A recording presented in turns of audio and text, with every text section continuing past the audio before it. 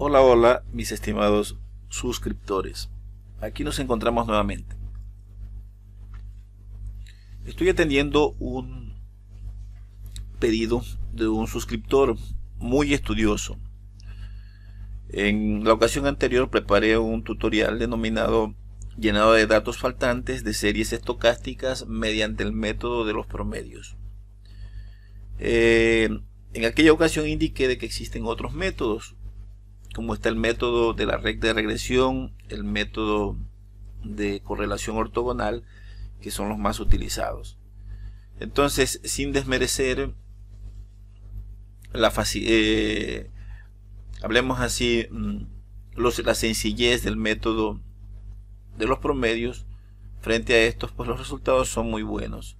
Pero quien quiere pues algo así como más laborioso puede utilizar el método de la recta de regresión o como le llaman también el método de regresión lineal. Entonces, eh, vamos a hablar un poquito sobre este asunto, en qué consiste, para que puedan conocer la metodología y luego pues de manera eh, sencilla y comprendiéndolo todo puedan ustedes aplicar este método. Bueno, entonces nosotros habíamos hablado en la ocasión anterior de que se tienen series estocásticas eh, que pueden ellas eh, correlacionarse y cuando existen datos faltantes llenar aquellos datos faltantes con series que están sus datos completos. habíamos indicado de que generalmente a la serie completa se le le da el nombre de serie índice y a la incompleta se le da el nombre de serie incompleta o serie que se analiza. Entonces por lo general aquí tenemos datos, datos, datos, datos. Y pues aquí de pronto no hay. Aquí sí hay. Si hay, no hay. Aquí no hay. Y pues aquí de pronto sí hay. Es decir, aquí tenemos dos series. Una serie X completa, índice, y una serie Y que está incompleta. Le hacen falta dos datos. Entonces, entonces nuestra misión es completarlos. Entonces, ¿cómo nosotros completamos esos datos? Ya aprendimos un método. Ahora esta vez vamos a ver otro método. Este método consiste en lo siguiente. Si nosotros partimos de los planos de coordenadas X y Y, por aquí tenemos X y Y y graficamos estos puntos. Graficamos estos puntos obviamente en donde pues haya paridad, es decir, donde haya, por ejemplo, graficamos estos dos que están aquí, que, que, que hay paridad, es decir, que se conocen en ambos lados, este de aquí y el de acá. Aquí pues yo tengo solo tres, puntos prácticamente, pero en la práctica pueden haber eh, varios puntos. Por ejemplo, vamos a poner que este sea un punto, otro punto, por aquí sale otro, otro, otro, otro, otro. Aquí no me salen como porque y si yo al tener pues, este esquema yo podría encontrar una recta que exprese la tendencia que estos puntos dan. ¿De acuerdo? Entonces esta recta pronto podría ser allí. Yo la agarro, podría ser por allí. Entonces aquella recta que se ajusta a los datos que se tienen, se la conoce con el nombre de recta de regresión. Entonces, eh, para que esa recta sea representativa a los datos, se determina un parámetro denominado coeficiente de correlación, R. Si este coeficiente de correlación es mayor que 0.7, según pues este los tratados estadísticos, entonces hay un ajuste y puede, puede hacerse el llenado de datos con este método. Pero si eh, no se cumple esa condición, significa de que no hay ley entre ellos y por lo tanto no se puede llenar. Entonces en esta ocasión eh, voy a enseñarles en Excel cómo se calculan estos diferentes parámetros estadísticos con la ayuda de los cuales nosotros podemos completar estos datos faltantes. Bueno, entonces pasamos a hablar un poquito de eso. Nos vamos aquí. Yo ya tengo preparado una hojita en donde tengo la, la teoría prácticamente. Entonces el coeficiente de regresión se calcula con esa fórmula. Aquí pues yo voy a hablar y ustedes pues de pronto toman sus notas porque escribirlo todo, lo que se habla como que es una tarea muy eh, difícil. Mejor es hablar y ustedes pues toman sus notas. Entonces aquí tenemos la fórmula del coeficiente de correlación. Esta es una fórmula que viene de estadística, yo no me la he inventado, entonces todo el mundo la sabe. En donde pues ¿Cómo se calcula? Como la sumatoria del producto de x menos x media por y menos y media. Y todo eso dividido, o sea, lo que da esa suma para n, que es el conjunto de datos, menos 1 y que multiplica por eh, sigma x y sigma y. Sigma x y, sigma y son, los, son aquellos parámetros que en estadística se los conoce con el nombre de desviación estándar. Entonces la desviación estándar, aquí están las formulitas, cómo se calculan. Para X pues tenemos esta fórmula y para Y pues la de acá. En donde esta es la sumatoria de los valores en X menos el valor medio de esa serie en X. Que en este caso pues habíamos indicado que X para nosotros era la serie índice, es decir, la completa. Y pues en Y pues se hace lo mismo, solo que con, con los parámetros en Y. ¿De acuerdo? Luego, eh, hay otros parámetros estadísticos que se llaman, unos se llaman varianzas y otros se llaman covarianzas. Las varianzas hay de dos tipos. La varianza en X, que la tenemos aquí, como se calcula la, con la formulita. ¿Sí? Y este de aquí es la varianza en Y. Y existe la covarianza, que es, ah, que es un parámetro que se obtiene em, mediante la interacción de tanto de, parámetros en X como en Y, y la tenemos aquí. Aquí están las fórmulas, como se calculan. Recuerden que n es la cantidad de datos. Y luego, pues, los datos se llenan con esta formulita que está aquí. En donde y es igual a a más bx, en donde a y b son coeficientes que se calculan con esta fórmula. A su vez, a pues se calcula con el valor de, de, de y medio menos la relación de la covarianza dividida para la varianza en x por x media. Y m, que pues este m eh, lo llaman también la pendiente de la recta de regresión. Esta es la pendiente, acuérdense. La pendiente la pendiente eh, se calcula de manera más sencilla como la covarianza dividida para la varianza en X. Y teniendo estos parámetros, pues ya se hace el llenado de datos. Es decir, hay que calcular A, luego B y luego pues eh, con esta fórmula podemos calcular el dato faltante, pues obviamente colocando eh, como X al dato de la serie índice conocido. Bueno, si nos vamos nosotros a los datos del ejercicio que teníamos anteriormente, aquí tenía, estaba preparando, vamos a borrar todo esto.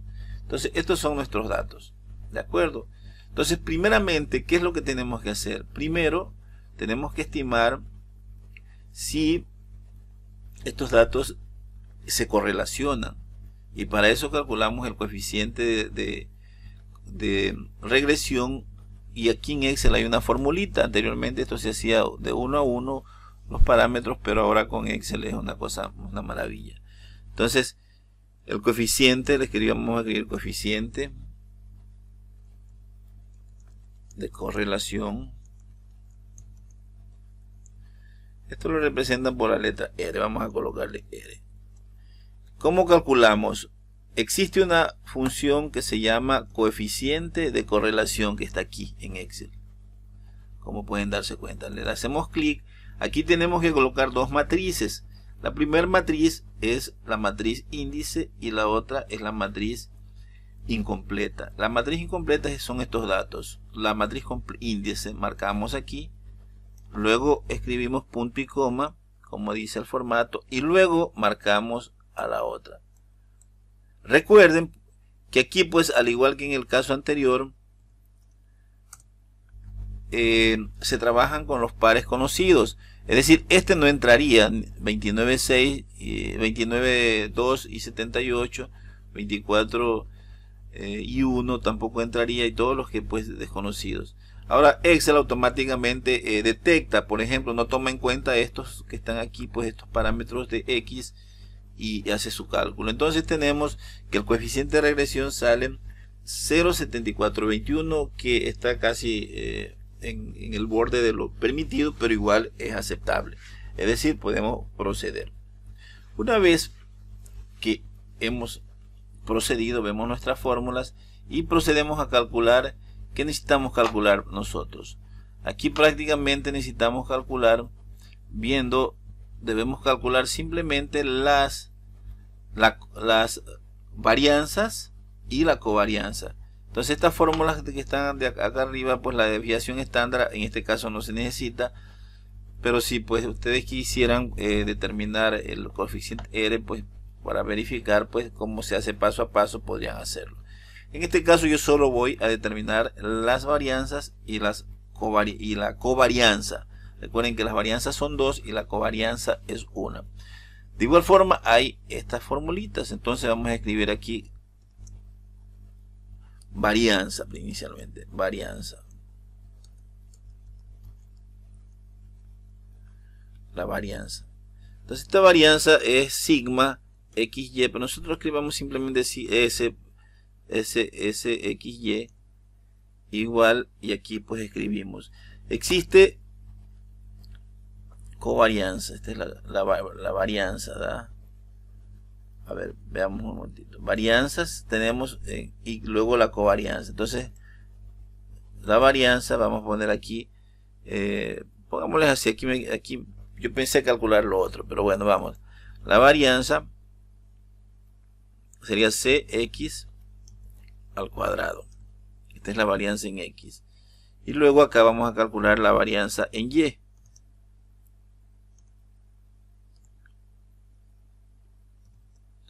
Ok, las fórmulas son las siguientes, pues más escribimos aquí var, varianza, y aquí buscamos, mira aquí diferentes, ¿sí? Esta varianza P, esta que, ¿qué varianza es esta? Esta es para cuando se tiene X, eh, Excel 2007, pues quienes han trabajado, o podríamos utilizar directamente acá, trabajemos con esta de aquí.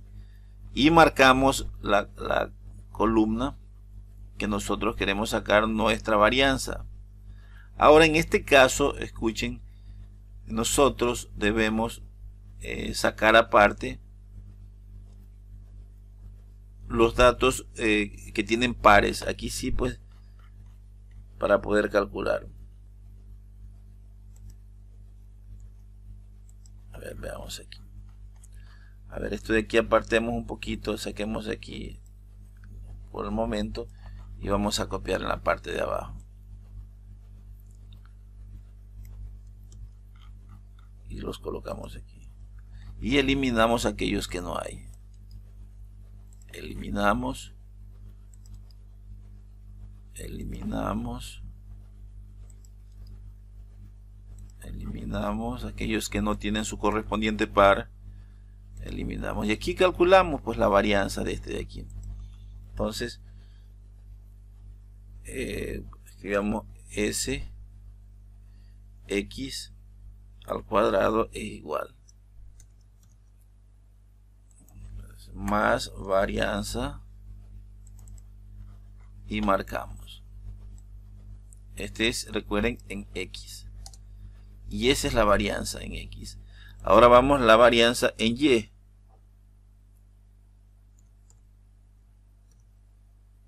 De igual forma más la varianza en y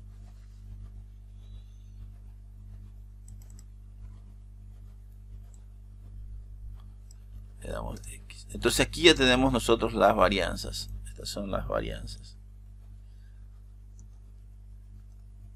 Ahora viene la covarianza. La covarianza. Entonces, covarianza es, SXY.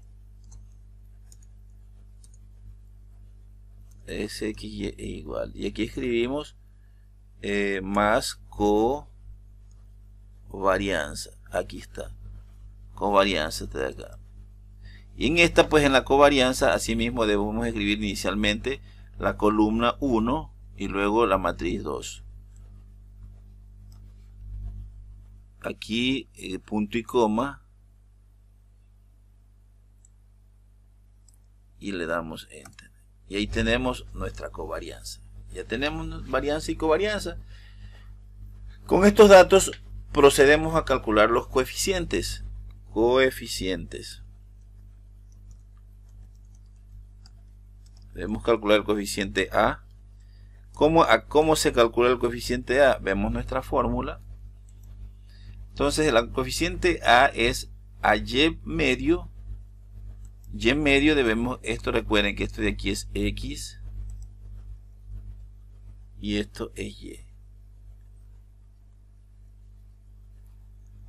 El Y medio lo vamos a calcular aquí abajito. Aquí. Promedio.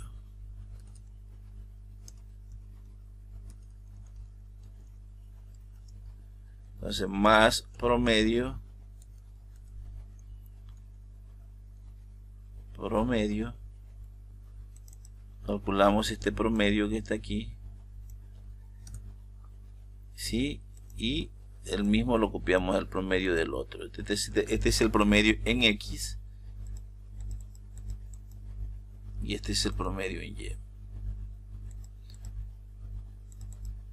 entonces ya tenemos estos datos esto vamos así como a resaltarlos para que no se confundan lo ponemos con rojo ahí están los promedios entonces los valores que vamos a emplear nosotros son prácticamente estos estos en función de las fórmulas ok entonces con los promedios ya podríamos calcular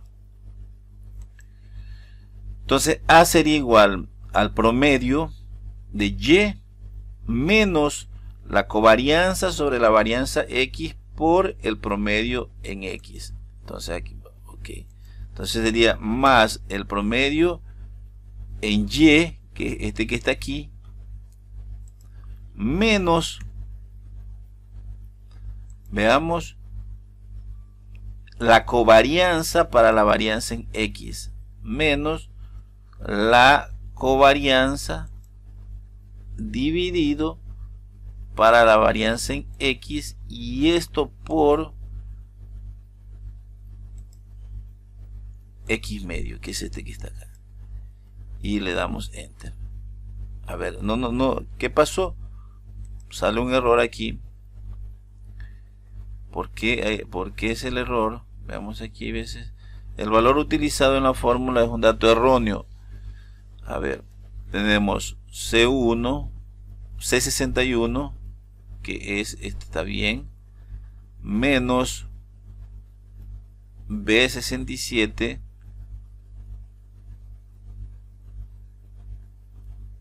B67 que vendría a ser ah, nosotros utilizamos B, no es B, sino es, es el valor numérico. Entonces sería B ¿Por qué B67? A ver, veamos la fórmula. Entonces tendríamos aquí la covarianza dividida para la varianza en X. La covarianza que sería C69, ¿qué pasó? Algo pasó mal. C69, esta es la covarianza dividido para C64. Ahí sí, entonces aquí hubo un error. Y esto por B61 está bien, ok. ¿No? Sigue, sigue saliendo error a ver, veamos. B 69, que es este, dividido porque B, aquí todo es C, es C, esto de aquí es C, todo, a ver, C, claro, este es C, C, a ver, vamos a hacer lo siguiente, aquí, aquí ya me confundí, vamos a eliminar esto y vamos a escribir la fórmula aquí en Excel directamente para no confundirnos.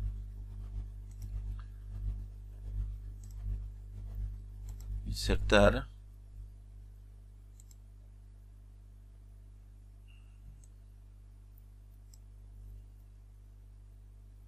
aquí se me hizo un relajo ya todo esto aquí. A ver vamos a intentar aquí otra vez. Entonces sería y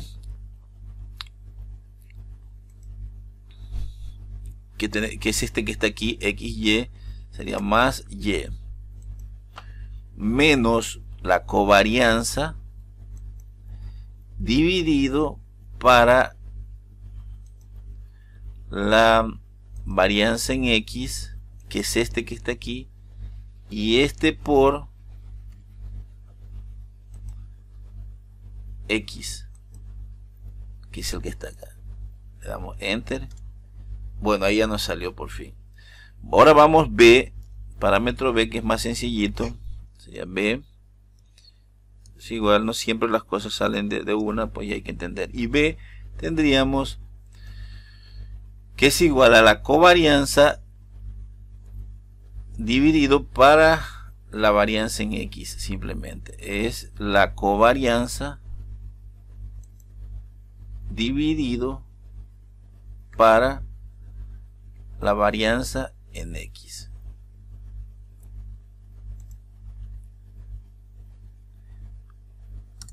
Y eso es todo. Ahí tenemos. Entonces conociendo estos parámetros a y b podríamos con la fórmula encontrar ya el respectivo valor de y. Entonces y sería igual a a más b por x. Recuerden que x son todos estos parámetros que están aquí los conocidos. Sí aquí que tendríamos 29.2 78 y todos pues los los que tienen su par en la serie índice. Ya entonces nos vamos. Nos ubicamos aquí. Sería más a está encontradito acá más b y este de aquí por su respectivo valor en x que es el que está aquí.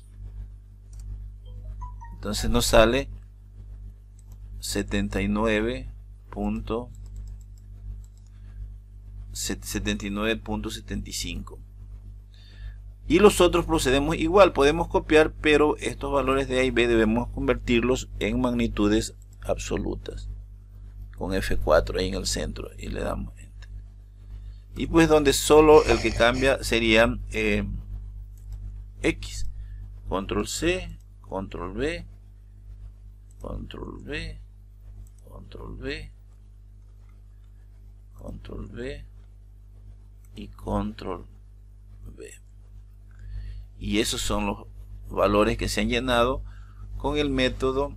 Ahora si nosotros eh, miren que al que el coeficiente de correlación se recalculó que con la ayuda pues de, estos de este em, de estos datos completados ya el coeficiente subió a 0.7994 es decir mejoró la correlación respecto a cómo estaba inicialmente bueno, con eso pues culmino, espero que lo practiquen y lo apliquen en, en este, sus proyectos, en sus deberes, tareas que les dejen a nivel de la universidad y pues en la misma profesión.